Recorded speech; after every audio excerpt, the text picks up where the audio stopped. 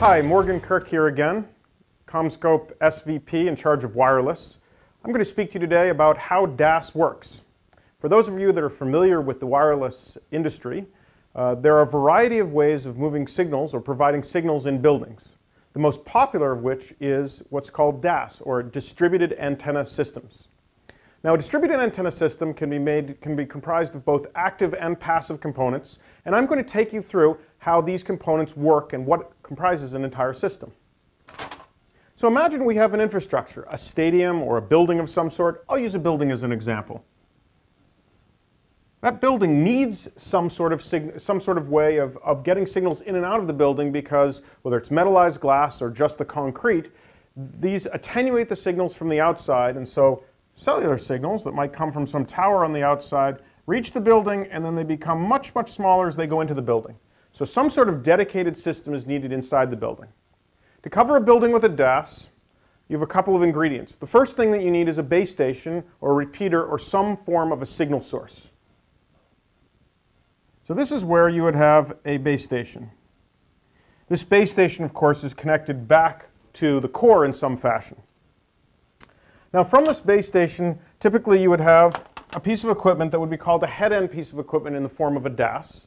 Head-end equipment is typically located with the uh, base station equipment.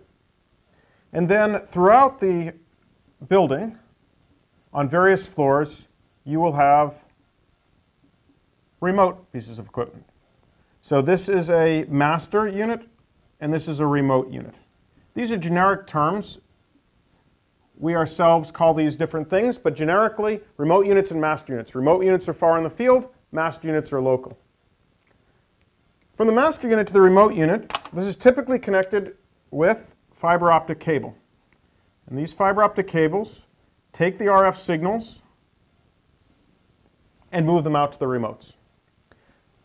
Now the master unit is connected to the base station via a coaxial piece of cable, and there are RF signals that get put in to the master unit. Now at the master unit, those signals are converted in whole into fiber, into light, and transported to the remote units. At the remote units, the reverse process takes place, and additional pieces of coaxial cable are taken with splitters and other devices out to a variety of antennas. The reason that it's called a distributed antenna system is you have a bunch of antennas that are all distributed. No surprise there. Okay, so the advantage of this type of system is you're able to take a very simple base station, which would be on a single location, and you're able to move it throughout the building so that each one of the users that are here, their cell phone, is very close to where the signals are coming. So instead of having a lot of signal loss from a single location, you have much lower power but much less signal loss. What that enables is a much better user experience. So the user is able to do higher speed, datas, uh, higher speed data, and you're able to support a lot more users by doing this.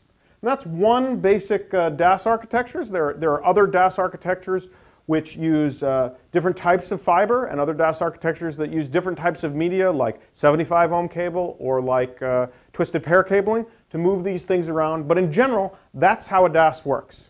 I'm Morgan Kurk, CommScope.